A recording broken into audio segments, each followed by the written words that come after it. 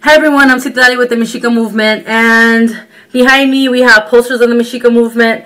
The first one says, we are indigenous with the right to migrate everywhere on our continent and that has a Mayan little boy, split image of a Diné little boy and then we have a Oaxacan woman, split image of a Cuauhquiwi women from Canada, basically establishing the fact that we are one people, whether they call us Mexicans, Central Americans, Native Americans. We are one people that have been divided by European borders. And us, we in the Mexica movement, we're trying to get rid of that. We're saying, you know what? Let's go to the root of our unity. Let's go to the root of our unification, of our culture, of our roots. And that is that we are one people. We are one people divided by colonial borders.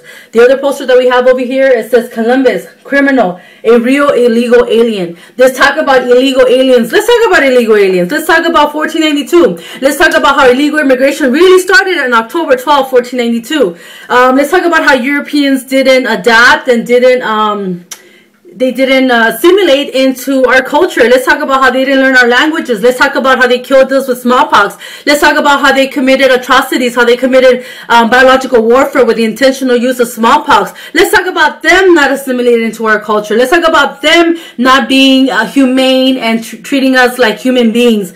No, let's talk about illegal immigration. If people want to talk about illegal immigration, it seems to be the hot topic today. Well, us as indigenous people, we like to talk about illegal immigration, but the illegal immigration that we're talking about is this one.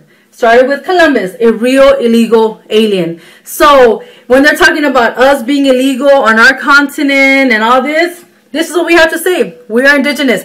A lot of people get butthurt because we're saying it. They're like, oh my God, that's so extremist.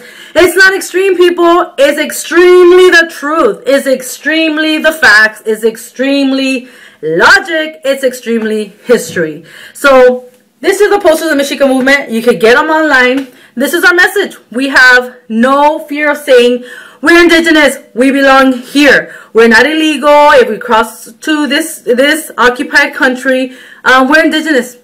Our ancient connection and our ancient ties to this land gives us that permission and that authority to be here. Um, let's talk about assimilation and being inconsiderate and not respecting the laws. We had laws in 1492 we have plenty of laws and if you read the history you're going to see how we were lied to how they lied to us about how they were what their true intentions were coming here and they committed a genocide on 95% of our population talk about immigration talk about uh, exploration Europe was pretty much in decay when Europeans started fleeing and coming all over the world. And when they landed here, they figured, hey, let's kill these people, take their land, and make us, make them our slaves. That's what happened in a nutshell.